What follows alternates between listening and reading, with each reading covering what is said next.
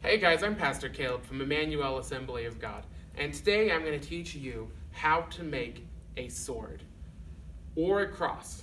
All right, this is a different than a pirate sword, which is another type of a sword.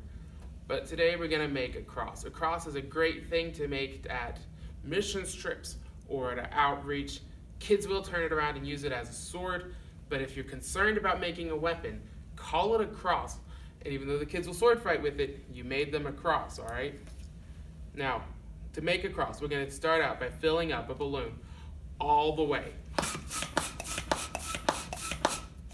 Now, I just counted, that's nine pumps, and it filled it up all the way to the very end. So there's no, no, no slack at the end, all right?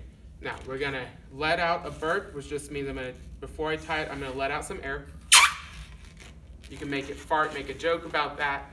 That works well, kids will laugh. And then we're gonna just tie the balloon off. I just explained how to tie a balloon in another video. So if you're unsure of how to tie a balloon, go back and watch that video.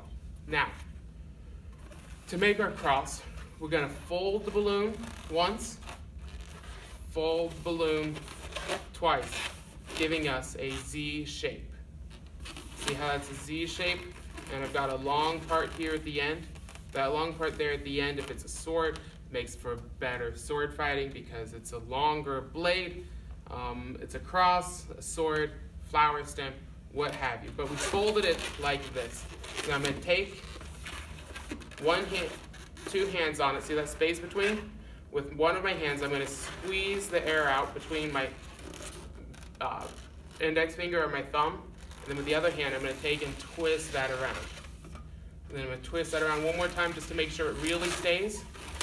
And then to secure this so it's stable, I'm going to take this end of the balloon, run it through the middle of that, and then neaten it back up.